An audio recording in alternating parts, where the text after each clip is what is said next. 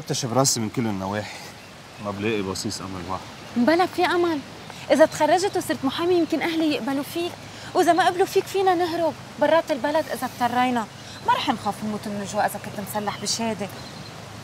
رح آخذ الشهادة إذا هي الطريقة أوصل لك. بس الهيئه ملهي بأمور تانية عن الدرس. الأمور الثانية الملتهي فيها هي أنت. أنا والأمور السياسية. هذه مش أمور سياسية يا سوريا نحن عم نجرب نحرر الوطن. شو هالموضة جديدة قصة الاستقلال؟ ما بدي شيء يلهيك عن درسك. الحرية والاستقلال هدف أهم بكثير من حمل الشهادة. وبتقول إنك بتحبني. رح صير محامي قبل إذا قدرت أو بعد ما يرحل آخر جندي عثمان عن أرض لبنان. بركي حبسوك. بركي شنقوك. أنت ما عم بتفكر فيي أنت ما بتحبني. أنا ما بحب حدا قد ما بحبك. فإذا لازم تسعى توصل لي قبل ما تسعى للاستقلال. يمكن ما أقدر أوصل لك إلا من خلال الاستقلال. كيف؟ الحرية بتخلق مقاييس جديدة أفكار جديدة بتغير قوانين وأنظمة وتقاليد بالمجتمع. بس يمكن ما ناخذ الاستقلال قبل ب 100 سنة. ليه بدنا نتعلق بحبال الهوى أنت عم تحكي كأنه أنا وقفت أدرس ما أنا عم بدرس. إمتى نازل على بيروت. ليلى.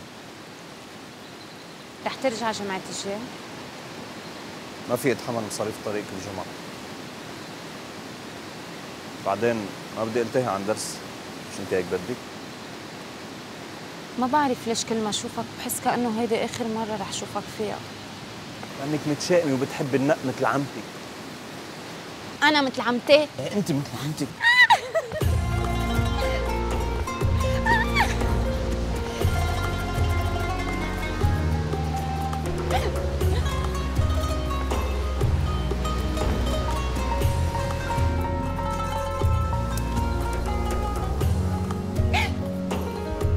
哈 哈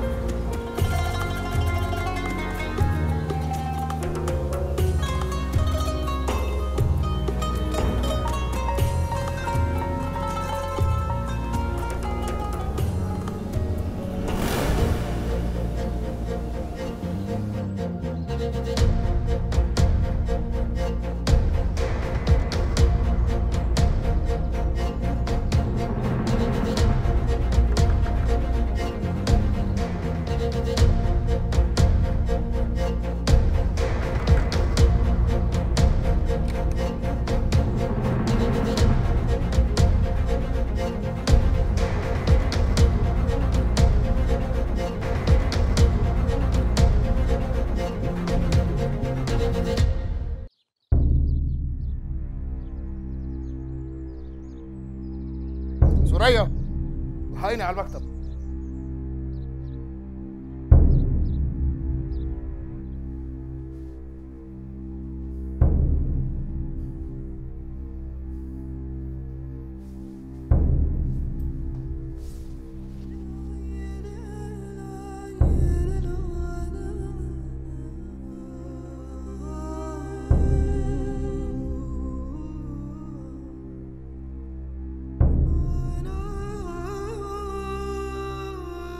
بك شي خيي؟ لو بيعرف بيك كان بيقتلك وبيشرب من دمك. ما بعرف إذا أنا لازم اقتلك بس ما رح أعملها. معك جمعة حتى تتجوزي للشيخ وجيه. مستحيل أتجوز شيخ وجيه. مستحيل. أنا اللي كنت عم بغطيكي قدام بيك وعم داري نسواتك. طلعت عم شارك بعلاقتك بشاهين من دون ما أعرف. روحي من وجهي. روحي من وجهي قبل ما أغير رأيي واقتلك قتلني بس ما تجوزني الشيخ وجيه. بدك تتجوزيه غصبا عنك. رجاك خيي. أنا ما إلي غيرك. أنت الملجأ الوحيد لإلي ما تظلمني هيك أنا بحبه لشهيد بس! ما تلفظي هالكلام على لسانك وليه. بعدين نحن ما عنا بنات بتحب. بموت إذا جوزني الشيخ وجيه بموت. بضل أرحم من عارك. اسمعيني منيح. هلا بتطلعي على أوضتك وبتقفلي على حالك. ممنوع حدا يطلع لعندك إلا تيطلعوا لك أكل. وإذا فكرتي تظهري بتروحي بس لعند الشيخ وجيه. عم تسمعي؟ بتعرفي شو صار مع الشيخ خليل وهبي ما هيك؟ اما بيطلع نقطة ببحر اللي بدي أعمله فيكي في حال جربتي تهربي بس لو ماني خايفة من الفضيحة كنت علقت له مشنقته على الشجرة اللي كان عم ببوسك تحتها.